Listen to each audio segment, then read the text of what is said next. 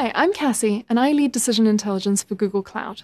Decision Intelligence is a combination of applied data science and the social and managerial sciences, and it is all about harnessing the power and beauty of data. I help Google Cloud and its customers turn their data into impact and make their businesses and the world better. A data analyst is an explorer, a detective, and an artist all rolled into one. Analytics is the quest for inspiration. You don't know what's going to inspire you before you explore, before you take a look around. And so when you begin, you have no idea what you're going to find and whether you're even going to find anything. You have to bravely dive into the unknown and discover what lies in your data.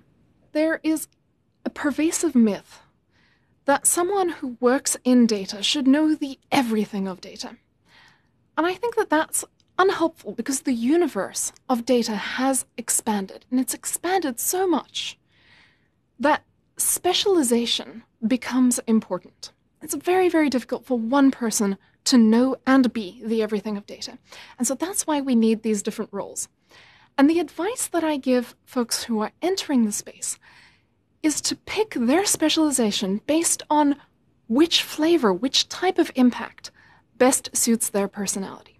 Now, data science, the discipline of making data useful, is an umbrella term that encompasses three disciplines machine learning, statistics, and analytics.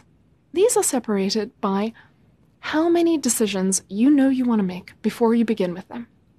So, if you want to make a few important decisions under uncertainty, that is statistics.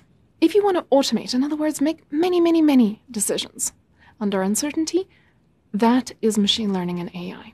But what if you don't know how many decisions you want to make before you begin? What if what you're looking for is inspiration? You want to encounter your unknown unknowns. You want to understand your world. That is analytics. When you're considering data science and you're choosing which area to specialize in, I recommend going with your personality. Which of the three excellences in data science feels like a better fit for you? The excellence of statistics is rigor.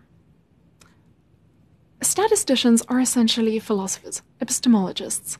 So they are very, very careful about protecting decision makers from coming to the wrong conclusion. So if that care and rigor is what you are passionate about, I would recommend statistics. Performance is the excellence of the machine learning and AI engineer. You know that's the one for you. If someone says to you, I bet that you couldn't build an automation system that performs this task with 99.99999% accuracy, and your response to that is, watch me. How about analytics? The excellence of an analyst is speed. How quickly can you surf through vast amounts of data to explore it and discover the gems, the beautiful potential insights that are worth knowing about and bringing to your decision makers. Are you excited by the ambiguity of exploration? Are you excited by the idea of working on a lot of different things, looking at a lot of different data sources, and thinking through vast amounts of information while promising not to snooze past the important potential insights. Are you okay being told, here is a whole lot of data, no one has looked at it before? Go find something interesting. And do you thrive on creative, open ended projects?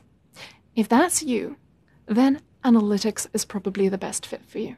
A piece of advice that I have for analysts getting started on this journey is it can be pretty scary to explore the unknown. But I suggest letting go a little bit of any temptations towards perfectionism and instead enjoying the fun, the thrill of exploration. Don't worry about right answers. See how quickly you can unwrap this gift and find out if there is anything fun in there. It's like your birthday, unwrapping a bunch of things. Some of them you like, some of them you won't. But isn't it fun to know what's actually in there.